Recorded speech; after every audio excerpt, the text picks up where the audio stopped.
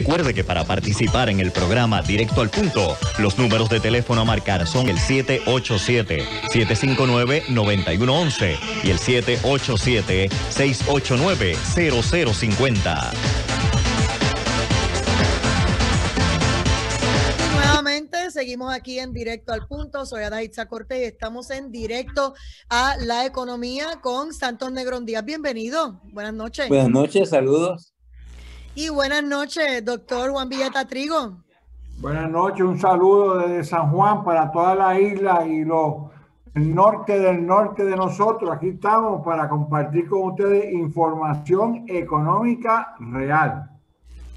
Y ya mismito se conectará con nosotros José Alameda, Mister, alias Mister Mojito, que a él le encanta ese apodo del vacilón que tenemos aquí en directo al punto. Ya mismo estará por ahí. Hoy eh, los temas son importantes, hay que hablar de cómo vamos a desarrollar la economía, bendito sea Dios, y hay que hablar del presupuesto. Así que comenzamos con Juan Villeta.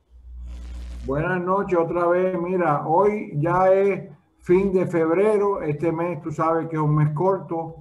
Usualmente, históricamente, y ahí más adelante Santos puede expandir, en febrero era el mes que las agencias sometían, febrero-marzo, las propuestas de presupuesto para el año que empieza julio primero.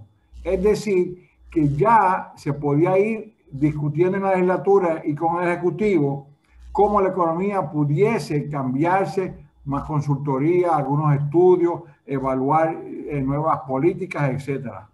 ¿Por qué esto es importante? Porque ahora mismo, y este tema yo lo he traído y lo voy a seguir trayendo, es el aumento en el salario mínimo. El aumento en el salario mínimo no hay duda que beneficia a las personas de bajo ingreso porque al aumentar la demanda, el, ingreso, van a consumir porque no tienen muchas opciones, lo van a gastar en comida, en ropa, en las necesidades básicas. Este aumento, y hay que hacer salvedad, sí va a impactar el presupuesto, por eso los dos están eh, interrelacionados. Ahora, tenemos que ser muy cuidadosos cuando hablamos de presupuesto porque tú eh, asignas unos dineros y esos dineros se empezarían a utilizar de julio primero del 2021. Pero tienes que también decir de dónde viene la fuente, los recaudos de Hacienda, cómo van a entrar para poder desarrollar y cumplir con los municipios, cumplir con las agencias, los servicios que se dan y en este nuevo presupuesto, ya hemos dicho aquí, y yo vuelvo y traigo el tema, tenemos que ya asignar una cantidad, aunque sea fija, mínima, pero para empezar a pagar la deuda. Yo creo que es inevitable que ya, lo han dicho en la prensa, diferentes analistas, que está llegando la hora cero. Pues mira, que no nos coja dormido, vamos a traerlo ya, ahora. Cuando hablo de presupuesto, ¿por qué es importante entender el presupuesto? Una familia, y todos tenemos familia, sabemos que el presupuesto se nutre de los ingresos de los miembros y que tiene que haber claridad de que cada cual diga, bueno, yo puedo ganarme 10 pesos, puedo ganarme 15 pesos, los hijos o y las hijas pues pueden trabajar en trabajo por hora y mantenerse ellos y contribuir o digamos aliviar un poco a los padres. Y es importante cuando se hace presupuesto, a mí nunca se me olvida, cuando yo me fui a casar, daban unas consejerías de presupuesto. Yo digo a mi esposa, ¿y de qué vamos a vivir nosotros si yo no tengo trabajo? Bueno, pues vamos a poner un presupuesto, pero no teníamos trabajo ninguno de los dos, así que no era realista, pero ahí más vez fue un ejercicio que nos ayudó a entender cómo íbamos a vivir y se dieron los trabajos y empezamos a funcionar. O sea que el presupuesto hay que darle el respeto, la atención y el cuidado porque hay muchas partidas envueltas. Por ejemplo, ahora mismo eh, sabemos que vienen fondos de FEMA para eh, la vacuna, que vienen fondos con FEMA para la vivienda. Pues mira, esos fondos que ya vienen, no tengo que presupuestarlos yo, ya vienen de, de fondos federales. Quiere decir que puedo mover algunos fondos para ayudar a los municipios. Ahora mismo hay una realidad chocante ahí, que es que queremos abrir las escuelas y tenemos una situación que no se sabe la fecha, no se sabe las condiciones de la escuela, no se sabe la condición del plantel, de la condición de los maestros y el personal de apoyo, que es mucho, limpieza, mantenimiento, los que dan la comida en los comedores, ¿verdad? Y lo más importante, estos niños que llegan o llegarían, que, cómo están de salud, cómo están sus padres. Así que fíjate que... Pero dijiste ahí algo y, y, y, mover presupuesto, no mencionaste que para mover un dólar hay que pedirle permiso a la Junta. Eso ahora no es tan fácil como decir, bueno, pues llegaron estos fondos federales, vamos a moverlo porque la Junta te va a decir, nananine. Eh, está bien, estamos de acuerdo, estoy de acuerdo contigo que sí, que hay que informar a la Junta, pero ahí está la creatividad del puertorriqueño y la puertorriqueña. Podemos presentarle, mira, yo voy a mover de aquí porque tengo que dar a las escuelas. Y, y entonces, ¿qué pasa? Siempre estamos jugando que me cojan. No, no, no. Tú di primero, informa a tu país lo que tú quieres hacer, como está diciendo el gobernador, yo quiero mover las escuelas. Pues mira, eso es, es importante y que se sostenga, pero eso implica que en el presupuesto de este año fiscal, que ya viene por las elecciones 50% o menos está separado, o eh, más, no sabemos todas las partidas porque esa es otra, otra realidad. La entidad encargada del presupuesto tradicionalmente era la Oficina de Gerencia y Presupuesto. El, el, trabajar en esa agencia era en su momento dado un privilegio, y Santo lo puede afirmar, porque trabajábamos con todas las todas las agencias, se revisaba esos presupuestos, se confirmaba que el, el, cada agencia iba a tener fondos para poder hacer cosas innovadoras. Además, hasta se pensaba y se separaban fondos para consultores, para traer estudios, para buscar la forma de aprender de lo que hacían en Estados Unidos y en Europa. Y se hizo. A la Junta de Planificación fue así y presupuesto y gerencia y el Banco de Fomento cuando existía en sus momentos de gloria. Ahora, llegamos al 2021. El salario mínimo, y no podemos seguir tapando el cielo con la mano. La, la directriz de que es 15 dólares no es que es mañana. Y, hay mucha confusión en la prensa y no están diciendo la verdad completa. El salario mínimo, como dijimos aquí hace ya varias semanas, no se sube desde el 2009 Quiere decir que llevan la familia puertorriqueña obrera más de 10 años sin un aumento. Uno. Dos, los aumentos son escalonados.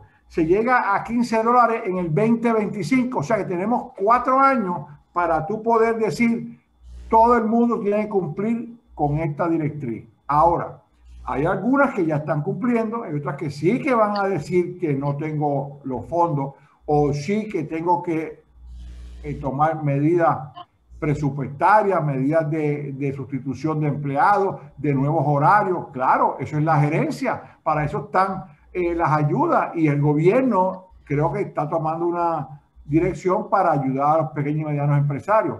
Pero el salario mínimo como elemento importante en el presupuesto tiene que ser considerado que se aumente todos los salarios según se pueda porque es más dinero. Fíjese, esto es economía 101. Pero mira, ese tema del salario mínimo, yo estaba escuchando al, a Manuel Osidre, donde dice que se puede llegar a esa cantidad aunque no sea directamente al salario, sino con otros incentivos que el gobierno le dé o otro tipo de regalía, otro tipo de ayuda para que la gente tenga un respiro, el dinero le sobre y pueda pagar sus utilidades. Yo no sé cómo ustedes lo ven, porque dice, a lo mejor no es estrictamente que le aumenten a 15 dólares a 20 dólares, etcétera, pero él decía que podía llegar hasta 20 dólares si había otro tipo de ayuda. Y entonces ahí es donde entra el problema de la Junta de Control Fiscal, que no quiere que gasten nada, que no se la deuda, etcétera. Vamos a ver. Vamos a darle un turno aquí a Santos Negrón a ver qué nos dice y regreso contigo, Villeta. Santos Negrón Díaz. Santo. Sí, eso lo que tú planteas es muy interesante. De hecho, congelado el salario mínimo, eh, lo que ha ido aumentando a través del tiempo han sido los beneficios marginales y por eso las uniones han orientado su estrategia a obtener más beneficios de diversa naturaleza, de salud, de eh, vacaciones, eh, festividades en las cuales se le otorga a la persona ir a celebrar con su familia, facilidades de diversa naturaleza, cuido de niños. Hay, las uniones en Puerto Rico han avanzado o habían avanzado enormemente en esos campos eh, eh, y el salario había pasado a una segunda plano en, la medida en que los patronos se sentían bien eh, cohibidos en, proveer incrementos sistemáticos en los salarios basados, por ejemplo, en expectativas de costo de vida y cosas que se pudieran negociar con las uniones, que son realmente la fuerza que eleva el nivel de salario en la economía. Está probado, si se debilitan las uniones, generalmente se polariza la distribución del ingreso, los obreros obtienen menos beneficios de la producción total. Y, hay una gráfica que el otro día la vi en el New York Times bien clara, desde que se debilitó el, el movimiento eh, sindical en Estados Unidos, la tasa de crecimiento de los salarios se, virtualmente se, se congeló o, se, o siguió avanzando lentamente el total de salario. Y sin embargo los beneficios de las empresas incrementaron grandemente. Pero hay algo aquí, Santo, para que, para que abunde. El problema es que hace par de años le quitaron beneficios y le quitaron un número de cosas a los pensionados y a los y, entonces encima ahora le quieren tocar las pensiones, pues entonces el salario mínimo ni llega y los beneficios se los están cortando y entonces están estrangulando al individuo, al, trabajador. Hay, hay, una perspectiva interesante que, que yo quería plantear eh, en el sentido de que hay una frase de Jerome H. Powell, eh, H. Powell, el presidente del sistema de reserva federal, donde él dice algo que nosotros tenemos que tener como marco de referencia en este proceso. Dice, el, la perspectiva económica permanece altamente incierta y depende del camino que siga el virus. Solo dice el segundo hombre más importante de Estados Unidos, después del presidente. Lo dice un hombre que tiene en sus herramientas de acción una inmensidad, quizás la más poderosa que puede existir en un país alguno, los instrumentos de control y de acción de, préstamo, de sostenimiento de, la capacidad crediticia, de todo, eh, virtualmente se concentra en la Reserva Federal y aún él mismo dice ese camino que hay que trazar hacia el futuro sigue siendo incierto y, en eso es que estamos. En ese sentido, eh, el presupuesto es fundamental, pero el presupuesto, es, la palabra misma lo dice, es presupuesto. Presupone que ese dinero va a fluir, pero si la actividad económica no lo genera, el gobierno tiene que hacer ajustes a mitad de camino. Ya en, entrado el año fiscal empieza a hacer gestiones de control porque el gobierno de Puerto Rico no puede en este momento suplementar sus ingresos con préstamos, no puede recurrir a emisión de los trans, que eran eh, una especie de instrumentos anticipando el, la recepción de los recaudos, no puede ir al mercado. Aquí el rigor tiene que ser bien grande. Eh, yo recuerdo claramente eh, cuando vení eh, Jarabo, Ronnie Jarabo era presidente de la Cámara, que él nos reprochaba a nosotros en la Junta que le dábamos los, los, los pronósticos de la economía demasiado tarde como para él poder llevar a cabo adecuadamente la confección del presupuesto. Imagínense ustedes ahora donde la Junta de Planificación era la que generaba los, los pronósticos y los sigue generando.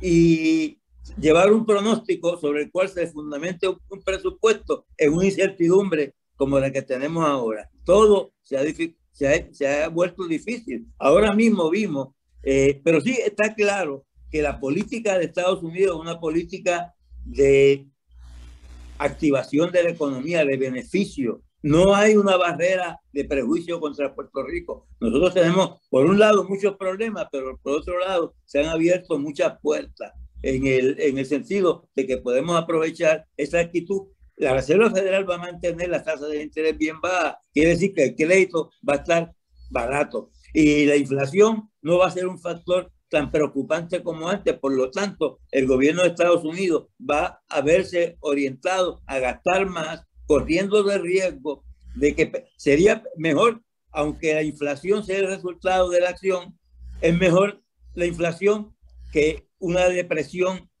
eh, inamovible y una incapacidad de llevar a la gente a los a recuperar su, su empleo, que es lo fundamental. En este sentido, la, la política de Biden y de Powell es correcta.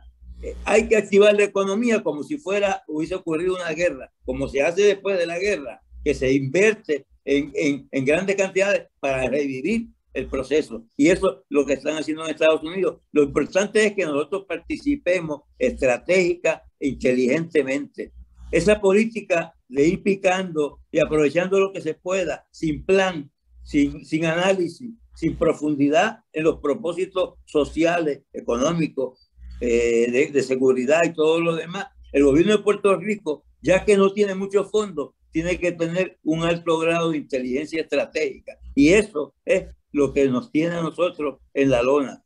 La, el, el, el afán de conseguir dinero sin tener un plan de cómo usarlo y, y un plan adecuado para demostrar que se ha usado correcta efectivamente cuando vengan la, la, las investigaciones de los federales, tener claro qué, qué uso se le hizo y que estamos en el, en camino correcto.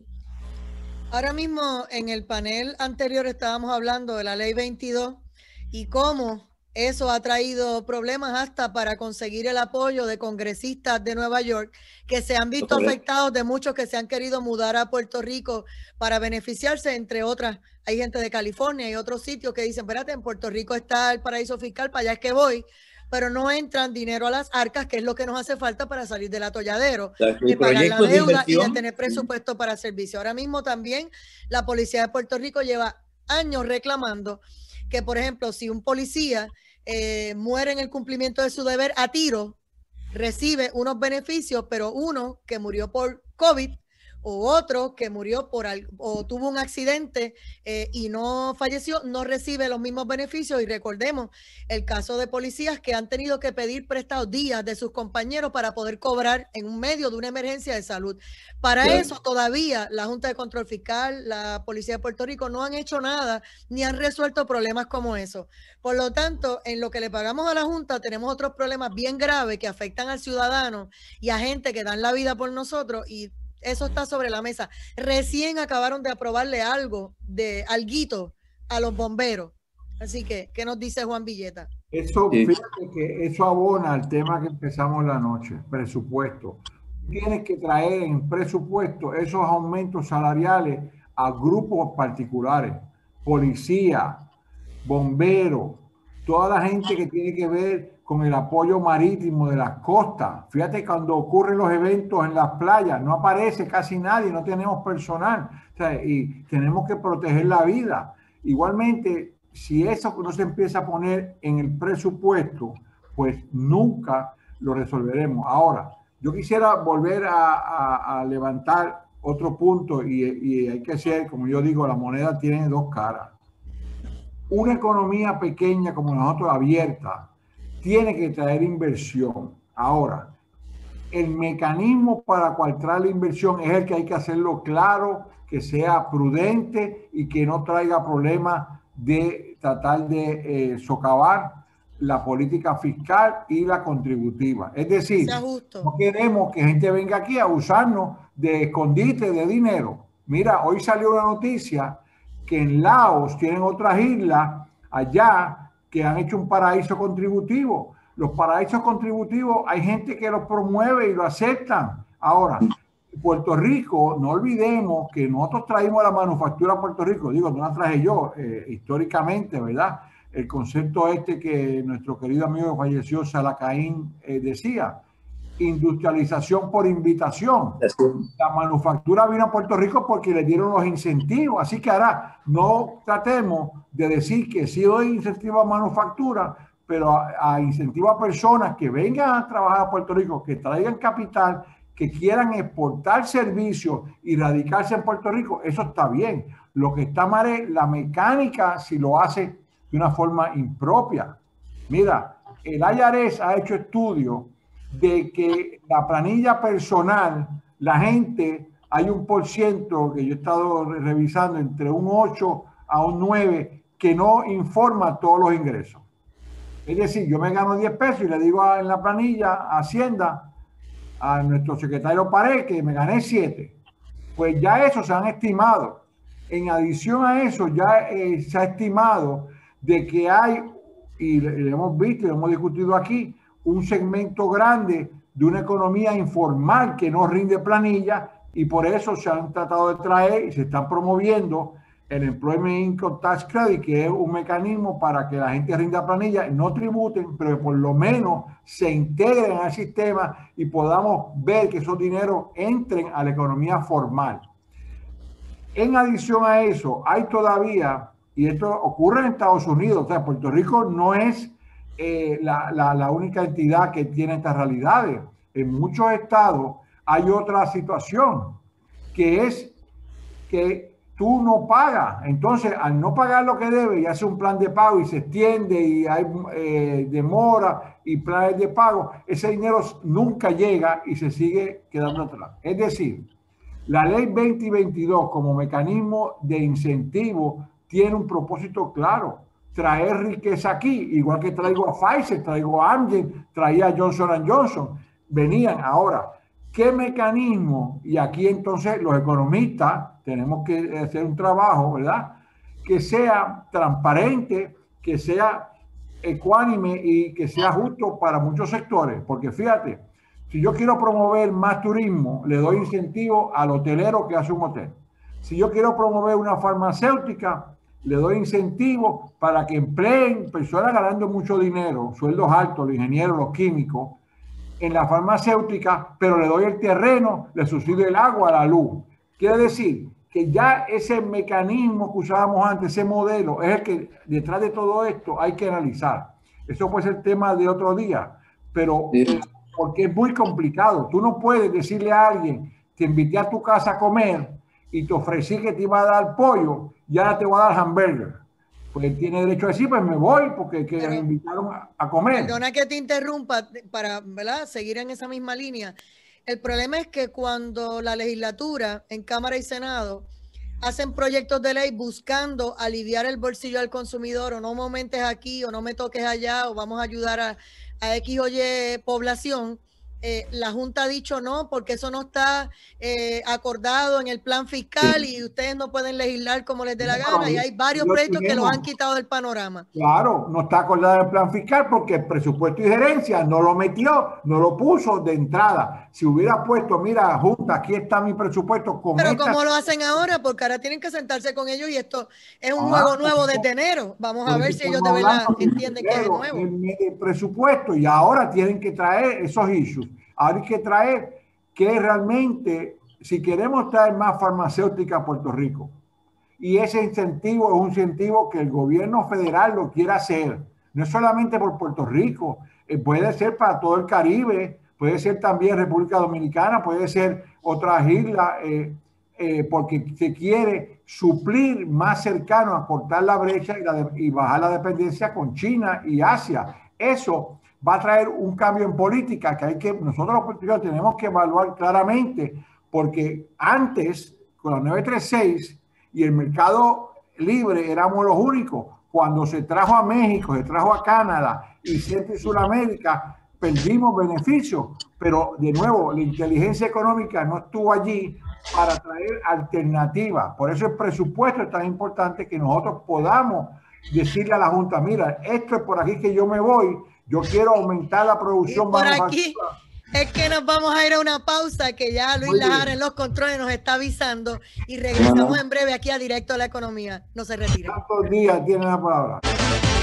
Regresamos a Directo a la Economía. Soy Adajitza Corte y estamos en Directo al Punto con Santos Negrón Díaz y Juan Villeta Trigo. Excusamos hoy a José Alameda Lozada con mucho cariño, siempre decimos alias Mr. Mojito, porque nos dice que está eh, acompañando a su esposa está en una, en una situación en el hospital, así que que se recupere pronto y ya esperamos que estén eh, con nosotros el próximo viernes. Bueno, cuando hablamos de presupuesto y hablamos que llevamos cuatro años pagándole millones, no son tres pesos, y hasta se le ha pagado a mil dólares la hora y que si 500 pesos la hora, etcétera, a los abogados que han trabajado todo esto de la Junta, porque a los que no lo saben se los recordamos, que todos los abogados que trabajan lo que sea con relación a la Junta los pagamos usted y yo. Así, así las cosas, no puedo entender cómo nos piden a nosotros los ciudadanos que hagamos un presupuesto, que ahorremos esto y lo otro, y el mismo gobierno no lleva cuatro años y no han podido hacer un presupuesto ajustado, por Dios ya es demasiado. Por eso es que la jueza Laura Torsión le dijo hasta aquí. Y cuando le pidieron más tiempo, ¿qué le dio? 24 horas. Ah, sí, te doy más tiempo, 24 horas para que someta los documentos.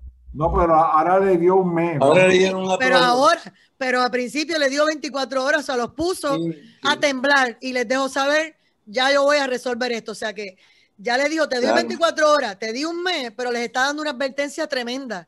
es sí o sí, hay que resolver ella hace muy bien en su función porque realmente todo este andamiaje tenemos que parar el, de sangre. Eso es un torniquete que hay que poner porque si no, la economía se sigue debilitando, como tú dijiste. Sí. Bueno, yo eh, quisiera, Vamos a ver. Como Juan Villeta Trigo. Eh, eh, Trujillo y San Juan nos quedamos con, con, el programa hoy.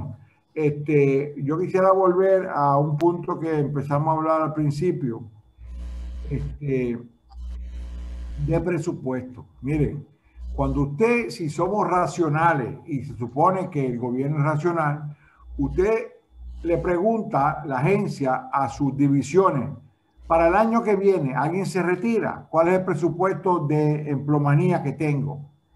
¿Cuáles son las rentas que yo pago de alquileres de espacio, el agua, la luz? Porque tengo la historia, ¿verdad? Y puedo traerlo. Y entonces yo someto mi propuesta al superior, digo, pues mira, le voy a aumentar los, los sueldos a los empleados o voy a eh, darle un adiestramiento que hay que pagarlo, eso es parte ¿verdad? de los beneficios que hablaba Santo más temprano. Yo quiero este, hacer una campaña educativa sobre los servicios que proveemos, etcétera. O sea que ese proceso se marcaba y se iba a la legislatura yo estaba estudiando afuera de Estados Unidos, yo sabía, y Santo lo sabe, si va a la legislatura a presentar su presupuesto. Yo necesito 15 millones. ¿Por qué? Y presentaba toda su documentación debidamente cuadrada, debidamente explicada, se le presentaba a la Cámara del Senado y entonces iba y se aprobaba con el gobernador. Fíjate que ese proceso permitía que la prensa lo cubriera, se enteraba el ciudadano, sabíamos lo que debíamos esperar y sabíamos lo que pudiésemos lograr. ¿Qué pasa? A partir de la 2007, pues ya el presupuesto se convierte en no hay dinero, no hay aumento, vamos a reducir emplomanía, tiene que bajar el presupuesto, tiene que Austeridad. ¿Por qué? Porque el otro lado de la moneda es lo que nos olvidamos que es el problema de Puerto Rico que no ha querido entender. Yo no puedo gastar lo que no tengo de ingreso. Yo pudiese en un periodo corto, a corto plazo, un mes, dos meses, usar la tarjeta de crédito, usar un ejemplo sencillo y mantener mi estándar de vida, mi consumo. Pero al cuarto mes, cuando llego al límite del crédito, la banca va a decir, mira, eh, Santo Negrón, mira, billeta, no hay más crédito para ti. ¿Qué tú vas a hacer? ¿Verdad? Así que fíjate que el presupuesto tiene que ser conservador en el sentido de los recaudos de ingresos. Cuando aquí es que está la, situación crítica. Yo puedo querer darle beneficio a, a, los empleados, pero si no tengo los ingresos, ¿cómo yo voy a repartir lo que no tengo? Y aquí es que entra entonces la dinámica que no ha sido de una forma clara presentada a los puertorriqueños. Mira, si yo quiero recoger la basura, porque es importante recoger la basura, yo tengo que presupuestar recoger de basura. Si no, voy a tener los vertederos clandestinos, voy a tener problemas de higiene, de salubridad. Ese, ese interrelación de los sectores tenemos que traerla de nuevo. Fíjate más aún, EPA, que es la Agencia Federal de Protección del Ambiente, también entra a jugar aquí para recoger de basura. Uso este ejemplo de recoger de basura porque una de las cosas que ha dicho el alcalde de San Juan, y, creo que estamos todos de acuerdo, es limpiar la ciudad, hacerla más atractiva a los ciudadanos para que salgamos a gastar y a los turistas que llegan, particularmente el viejo San Juan. Pero para eso tengo que tener presupuesto y yo tengo que tener los fondos para pagar el servicio recogido. Ahora, ¿cuál es el punto de presupuesto otra vez? Oficina de Presupuesto y Gerencia. Esta agencia tiene que tener información, como dijo Santos y lo traigo. Si tú me entregas los pronósticos muy tarde, yo no puedo hacer nada. Mire, ahora mismo los pronósticos de la Junta de Planificación es hasta el 2021, o sea, 2021 es junio 2021. Sea, nosotros no tenemos una proyección, una entidad que nos diga Puerto Rico en los próximos cinco años donde tú pudieses estar. Lo que había hecho la, la Junta de Control Fiscal eran escenarios que no eran, eran risibles, no tenían fundamento. ¿Cómo vamos a crecer 3% si estamos en negativo? Eso quiere decir que para llegar a 3% tengo que ir del negativo, llegar a cero y crecer. O sea que estoy hablando de por lo menos 6% si aceptamos la historia que el decrecimiento de la economía de Puerto Rico estaba en sobre 2% negativo, o sea, bajo cero. Así que cualquier proyección positiva de esa magnitud no es viable y lo hemos visto que la Junta de Planificación y la misma Junta de Control Fiscal ha tenido que revisar y esa ha sido la crítica de miembros, pues esas proyecciones primero eran muy positivas, ahora dicen que somos muy pesimistas por los fondos que vienen, pero es que hay que tener cuidado, tú no puedes hacer una proyección basada en unos fondos a corto plazo que entran y salen ya eso lo vivió Puerto Rico con los fondos Jarra bajo Obama. Entraron bajo Fortuño, se usaron, se gastaron y la economía no creció. No creció. O sea que ese, eso es economía básica. Tú puedes tener más actividad, pero si no se traduce y percola y como decimos llega al consumidor y hay efectos multiplicadores indirectos, inducidos, como sabemos en la economía, y crea más actividad económica, se pasó ¿Y qué pasó? Que el puertorriqueño recibió en tres meses, por decir un ejemplo, 100 pesos más mensuales, los gastó. El cuarto mes no lo recibió, si fueron los fondos jarra, volviste a quedar en déficit y a vivir con menos. ¿Qué teníamos que haber hecho? Tenía que haber apartado el gobierno una partida de esos fondos para tenerlo en, para infraestructura. Eso no hablamos en el presupuesto nuestra necesidad de infraestructura, y por eso yo traje el tema de presupuesto y creo que debemos traerlo, Santos, en otros paneles futuros. El presupuesto antes incorporaba eh, inversión de infraestructura, de, de carretera, de puente, de eh, eh, acueducto, de, de, energía eléctrica. Tenemos que... de cinco años. Es importante que en el presupuesto se vuelva a traer fondos para invertir en infraestructura. Pero ahora mismo, vamos, vamos por parte. Ahí nos queda. Hay mucha gente que estaba salivando porque Joe Biden, presidente de los Estados Unidos, y el gobernador es demócrata de su partido, Pedro Pierluisi Urrutia, decían que nos iba a eliminar la mayor cantidad de deuda y que nosotros íbamos a poder respirar y pagar lo mínimo posible y íbamos a salir del atolladero en menos de cinco años.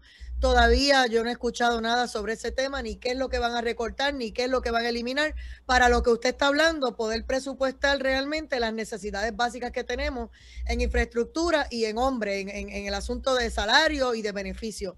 Eh, Santos Negrón Díaz. Sí, sí, lo que ocurre es que estamos en un estado de contingencia, porque la decisión fundamental con respecto al presupuesto está en manos de la juez, el litigio sigue, las posibilidades existen de que no solamente haya que pagar con flujos de ingresos al Fondo General, sino también con propiedad, con riqueza del gobierno, diferentes formas. Todo eso está en vilo eh, en ese sentido. El, estamos como en, un, en una especie de eh, vacío de información y de insuficiencia de datos para poder levantar sobre esas bases un presupuesto sólido y consistente. Acuérdense que el presupuesto de Puerto Rico tiene tres dimensiones. La, el Fondo General, el ingreso de las corporaciones públicas y los fondos federales. Son casi más o menos, casi 30 mil millones. En, en cada, cada uno de ellos tiene una tercera parte, más o menos, del volumen. La, ventaja que tiene Puerto Rico sobre cualquier otro país, digamos de América Latina o de Asia o de África, es que nosotros, además del presupuesto en el plano eh, de recaudo de fuentes de ingresos y, plan de gasto del gobierno en, en, lo que tiene que ver con operaciones del gobierno y, e inversión y proyectos de inversión, el, el gobierno de Puerto Rico tiene un apoyo gigantesco en gran parte de las áreas del gobierno federal en salud, educación, carretera, mantenimiento de edificios, toda una serie de, como si tuviéramos un colchón gigantesco que nos sostiene. Ahora, el, el, el, problema está precisamente en, en dos eficiencias. Hay una eficiencia en el uso de lo que se recauda a nivel local, que lamentablemente está contraído por la cuestión de la pandemia y el debilitamiento de la economía en general. Y entonces, en el otro plano es el uso adecuado, sistemático, la planificación de ese flujo de fondos federales. Se ha descubierto miles de situaciones en las cuales hay falla, hay descontrol, no se rinden cuentas, se pierden fondos por mal uso, se pierden fondos por la corrupción eh, agónicamente generalizada en Puerto Rico, no se rinden adecuadamente, no existe la estrategia de obtención de fondos, aquella que logramos eh, tener un equipo de trabajo en el gobierno que hacía una investigación, una continua eh, búsqueda, identificando eh, fuentes nuevas de posibles, preparando propuestas inteligentes, eficientes. Ese, todo ese proceso se ha debilitado malamente. Por lo tanto, hemos fallado en la administración de nuestro presupuesto y hemos fallado en la administración del presupuesto de lo que viene de Estados Unidos. Y lo peor, observen ustedes el estado de la situación de fracaso, de crisis económica de las corporaciones públicas. Nosotros hemos fallado, la falla del gobierno en Puerto Rico ha sido en tres dimensiones, todas ellas críticas. Y, y si tuviéramos nosotros una eficiencia adecuada en cada una de esas fases, podríamos compensar la debilidad de la economía con un buen uso de los fondos federales, con una apropiada planificación de las inversiones y de el desarrollo de infraestructura de las corporaciones públicas y tendríamos una armonía que en un momento dado se dio. Lo que pasa es que simultáneamente todos los actores de la economía perdieron el terreno, perdieron el fundamento institucional y se quedaron al garete. Eh, eh, a mí me sorprende cómo, eh, porque ustedes recuerdan en los informes anuales del gobernador o de la gobernadora, este, empiezan a enumerar y uno se cansa de oír tantos millones y la gente siempre dice, ¿y qué se hizo con todo ese dinero? Pues, pues precisamente eh, la, la, masa monetaria suena a veces impresionante, pero tiene que haber, estar apoyado por una base real de inversiones, un mantenimiento adecuado de las facilidades existentes, porque se puede invertir muy bien en las carreteras, pero si no se le da mantenimiento, se deterioran y quedan inservibles. Eso pasa con los sistemas eléctricos, pasa con los sistemas de telecomunicaciones. Y entonces tenemos en el plano de las corporaciones públicas la misma desorientación que tenemos en el plano del gobierno y, tenemos 38 municipios virtualmente quebrados. O sea que aquí la administración pública en Puerto Rico está pasando quizás por el peor momento en toda su historia. Y es impresionante que esfuerzos tan eh, nobles, significativos de los profesores de la Escuela de Administración Pública, eh, eh, trabajo formidable, todo. Aquí se ha hecho inversión en pensamiento de administración pública, pero en la práctica hemos sido verdaderamente extremadamente fallidos. Y Mencionaste no es algo de, estadística, de, que faltan estadí ¿cómo es? estadísticas, pero es que aquí hay grupos de planificación, grupos de estadística, claro que economistas, ¿por qué no se usan esos números? ¿Por qué se les sientan encima a ellos? ¿Qué es lo que pasa? Sí, porque el sector científico de Puerto Rico, economistas, geógrafos, planificadores, arquitectos, estamos marginados. Aquí las decisiones fundamentales están fuera de un foco intelectual. Aquí la universidad está enajenada de los contenidos de decisión del gobierno está completamente marginada y ahora mismo sometida a una virtualmente castrada eh, en su presupuesto y, obligada a quedar marginada. En las universidades privadas no tienen ese fundamento para entrar de lleno. No hay liderato intelectual, académico, investigativo. entonces, el, el, pensamiento político es un pensamiento de corto plazo, de, muy corto de, plazo, muy corto de una elección para otra. Entonces estamos, eh, eh, eh, entonces si, si, tuviéramos un gobierno federal bien orientado, con unos planes firmes, Estados Unidos es un desbarajuste total. Ustedes lo han visto, es una cosa tan fundamental. Un país del nivel de Estados Unidos que tiene más de 400 mil muertos por un virus que sabemos que es terrible, pero todo el mundo sabe que hubo una ineficiencia crónica, fundamental. Lo que está pasando en el estado de Texas ahora, ahora mismo, es un problema de planificación de, de los sistemas de energía eléctrica. Quedaron no, virtualmente no tienen agua tampoco, Santo, no ¿Sí? tienen agua. No tienen agua, no tienen agua.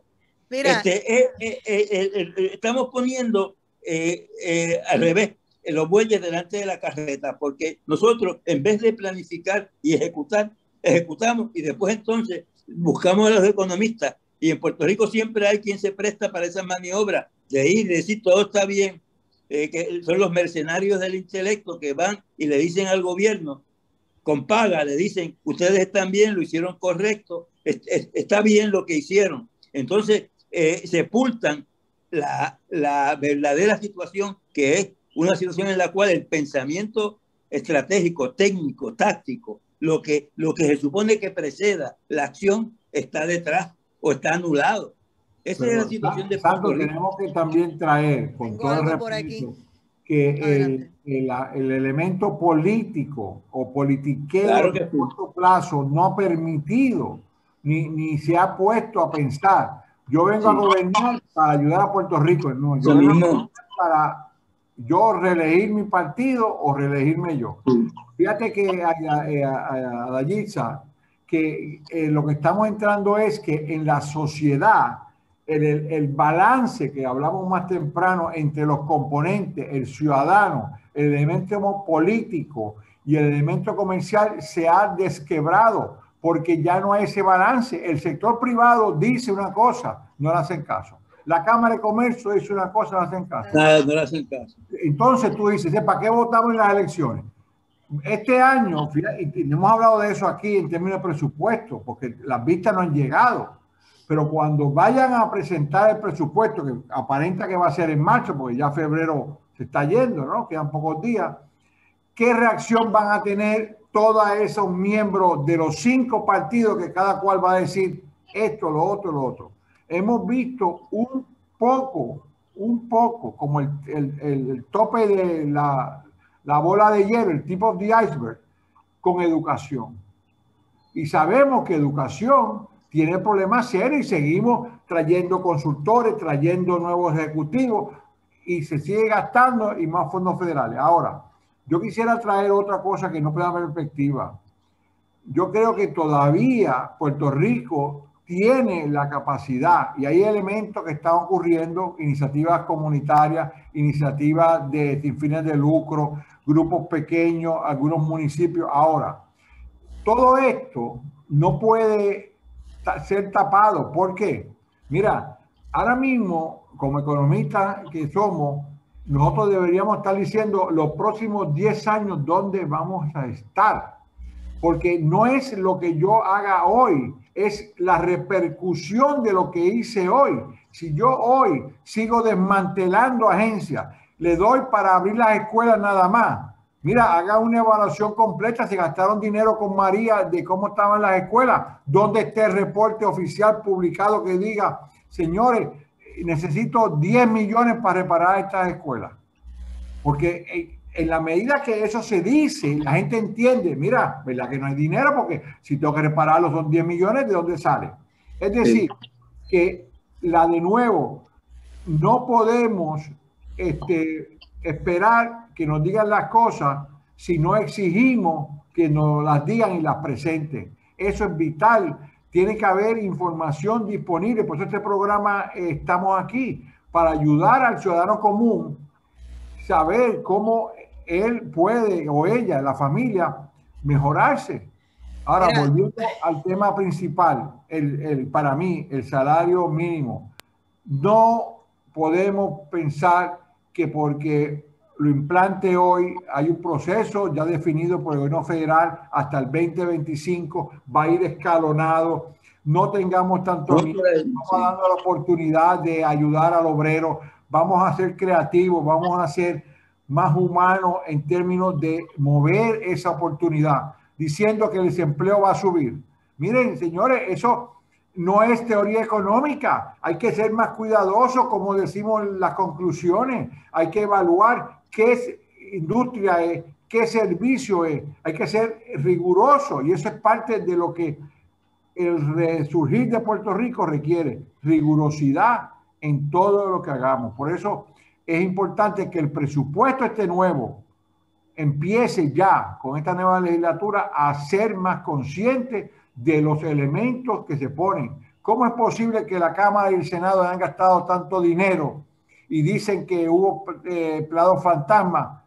Ese dinero estaba presupuestado y se gastó. ¿De dónde salió? ¿Quién lo tenía? Entonces tú dices, pero espérate, para unas cosas hay, pero para Gisa que quiere que la en el sueldo no hay. Mira, dice un colega economista de ustedes, me encanta la idea de desmantelar al gobierno y llevarlo al hueso para dejarle más dinero al contribuyente para la reducción en el gasto público. Y dice Marquín Lafayette, dice, lo que tienen que hacer es bajar los impuestos across the board para todo el mundo, pero eso requiere bajar el eh, gasto al gigantismo del Estado y por eso la isla seguirá hundiéndose. Así que con eso nos fuimos. Lamentablemente no podemos decir algo positivo. Ahí vamos. Gracias eh, a los economistas Juan Villeta Trigo, Santiago Díaz, Alameda. Lo vemos la semana que viene y nosotros, amigos, Alameda, que se mejore su señora. Así será hasta el lunes en otra edición de Directo al Punto. Nos vemos a las seis de la tarde. Que la pasen bien linda noche.